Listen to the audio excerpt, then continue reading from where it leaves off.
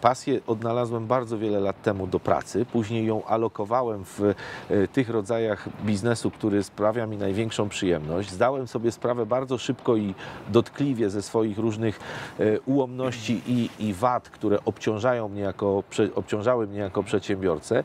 I od tego momentu, kiedy uświadomiłem sobie wady i odnalazłem pasję, e, doszedłem do punktu, w którym zawodowo jestem dzisiaj i byłem w ciągu ostatnich 20 lat. Po prostu wiedziałem, na co mnie stać już mniej więcej. A z tego z kolei wynika jakiś rodzaj pogodzenia się z tym, co masz. Ja nie uważam, żeby sytuacja ekonomiczna czy nawet zamożność były e, synonimem e, e, szczęścia. Znam wielu ludzi, którzy są dużo zamożniejsi ode mnie i którzy nie są szczęśliwi na co dzień, którzy e, wciąż tego szczęścia szukają albo nawet nie uświadamiają sobie, że go bezskutecznie szukają.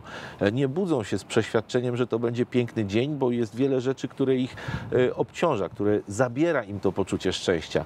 E, Naprawdę jestem wewnętrznie przekonany, że początkiem każdej drogi do, do, do zadowolenia z życia człowieka jest po prostu pójście za pasjami. A tym pierwszym jest oczywiście pójście za pasjami w edukacji, a następnie w pracy. Dopiero później przychodzą następne obszary życia, które się mogą świetnie uzupełniać. E, jednym z większych ryzyk jest to, że jeżeli jesteśmy w czymś dobrzy, to nam się wydaje, że jesteśmy dobrzy we wszystkim. To nieprawda. E, możesz znakomicie gotować i kompletnie nie radzić sobie z prowadzeniem samochodu. Możesz być świetny w czymś i to wcale nie oznacza, że ten twój autorytet powinien promieniować i budować twoją pozycję.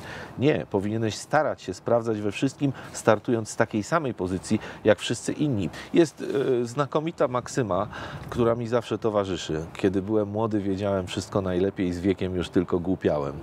E, moim zdaniem to genialna prawda o życiu. W miarę jak doświadczamy różnych rzeczy, uświadamiamy sobie przede wszystkim to, jak wielu jeszcze rzeczy nie wiemy, jak wielu nie potrafimy, albo jak wiele rzeczy inni umieją lepiej.